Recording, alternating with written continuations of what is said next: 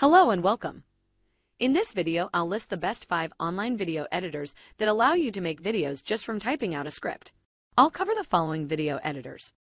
Video Builder Synthesia Synthesys Avatar Builder Doodle Maker I'll be narrating this video with some of the products mentioned. Number 5. Doodle Maker Doodle Maker is a whiteboard animator like Doodly.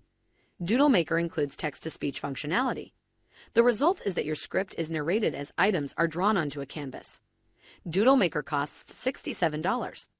See the description for any discount codes. Number 4. Video Builder Video Builder works as a traditional timeline video editor. You can select different avatars to read your text out. It's possible to purchase additional avatars.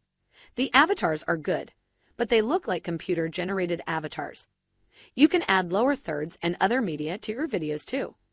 Out of all the editors in this video, Video Builder gives you the most control of your video.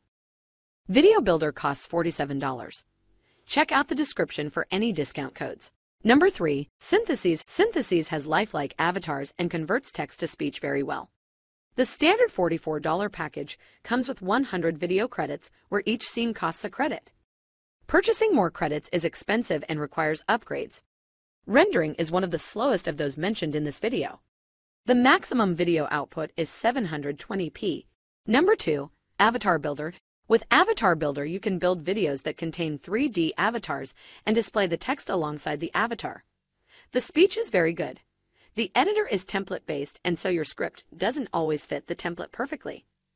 Avatar Builder has excellent stock site integration, which allows you to add images and videos easily into the background.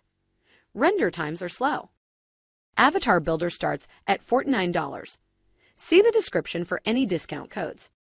Number 1. Synthesia.